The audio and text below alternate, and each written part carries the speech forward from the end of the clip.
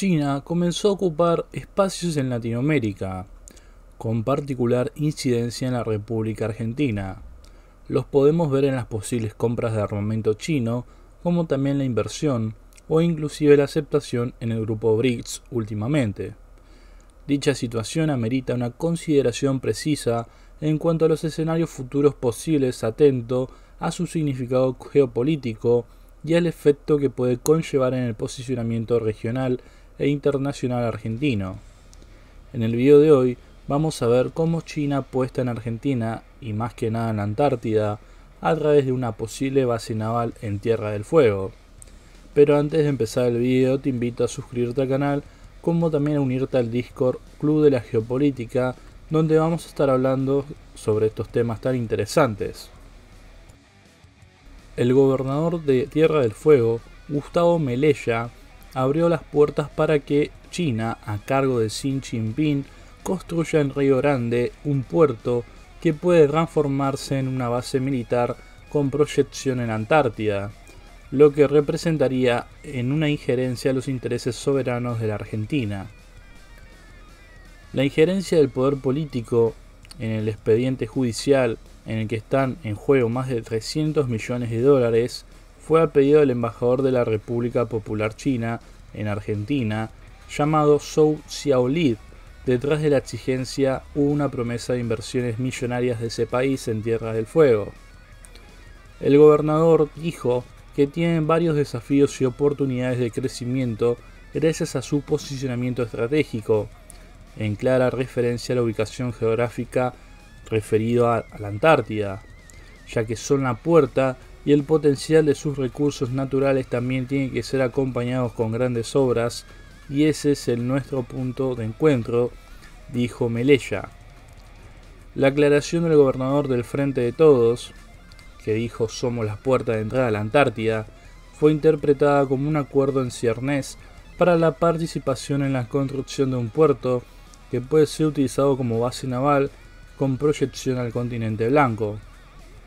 Este ya es un tema advertido ante funcionarios nacionales por la Embajada de Estados Unidos en Argentina. La preocupación del país de América del Norte por los intereses del régimen Xi Jinping en Argentina puede potenciarse si capitales de la República Popular China hicieran y operen un puerto con una obsesión en desembarcar en la Antártida a través de Tierra del Fuego, ya que es un enclave estratégico. El canal Beagle es un paso marítimo entre Argentina y Chile donde se conectan los océanos Pacífico y Atlántico.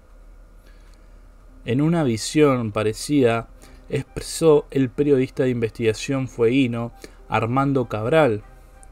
El tema de tener el puerto en Río Grande significaría poder realizar las operaciones antárticas durante todo el verano, ya que así se puede abastecer Río Grande. Puede abrir una gran puerta todo lo que tiene que ver con el económico en la Antártida, todo lo que se puede hacer allá, más allá de lo científico, y la intervención de capitales chinos o rusos en el puerto, por un tema de soberanía nos complica y nos hace ruido porque permanentemente se habla sobre la soberanía en un lugar como este particularmente donde Malvinas está a 600 kilómetros de este lugar y la Antártida que es estratégicamente para nosotros hiper importante porque forma parte de nuestra provincia, dijo el periodista. Aún así, la influencia china en la República Argentina no se queda ahí, ya que también, por ejemplo, tenemos el caso ya de la base espacial china Neuquén, entre comillas, porque hay muchas personas que dicen que esto lo utilizan de forma militar, aunque se niega permanentemente. La CLTC es una agencia que depende del Departamento General de Armamento y de la Comisión Central Militar del Ejército chino. Este es el principal motor de las dudas que Occidente, que entiende que China expande su influencia para toda América Latina desde Neuquén. Desde la CONAE niegan esto y aseguran que el uso es simplemente científico. Por ejemplo, la base espacial china Neuquén tiene una antena de 16 pisos, en otras palabras, solo las autoridades chinas y las de CONAE conocen el verdadero uso de esta antena de 16 pisos, de la que los expertos aseguran que se pueden realizar espionaje militar. Desde la Comisión Nacional de Actividades Espaciales negaron esto y reafirmaron que su utilización está solamente vinculada a cuestiones científicas y que no va a pasar de eso. El acuerdo firmado con China, que ya pasó hace una década, establece que la Argentina solamente dispone del 10% del tiempo operativo de la antena para realizar actividades de investigación científicas nacionales y de cooperación regional como internacional. Otra de las maneras para influir en el país es, por ejemplo, el acceso a la Argentina al grupo de países BRICS. Durante un encuentro con el canciller Santiago Cafiero, el ministro de Relaciones Exteriores de China, Wang Yi, aseguró que Argentina cuenta con el aval de ese país para su incorporación al grupo de países BRICS. También tenemos el caso de, por ejemplo, el candidato a ser el futuro Casa de la Fuerza de Argentina, donde también el protagonista es chino, el cual sigue siendo el candidato más firme a convertirse en el futuro Casa. En un reciente informe brindado por la Jefatura de Gabinete de Ministros ante la Cámara de Diputados de la Nación Argentina,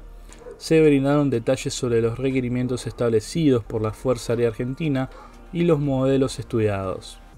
Según la información presentada por el Ministerio de Defensa argentino, la oferta presentada sobre el sistema de armas JF-17 cumple con toda la totalidad de los requisitos establecidos por la Fuerza Aérea Argentina, que incluyen, por ejemplo, la transferencia de tecnología a empresas nacionales, repuestos, simuladores, instrucción para el personal, motores de recambio, asiento eyector de origen chino, misiles aire-aire de corto y mediano alcance, compatibilidad con un 90% con los JF-17 Block 3 que está fabricando Pakistán para su propia fuerza aérea y todo el material está libre de restricciones. Claramente, el gobierno argentino no tiene una mirada coherente de lo que es la política exterior.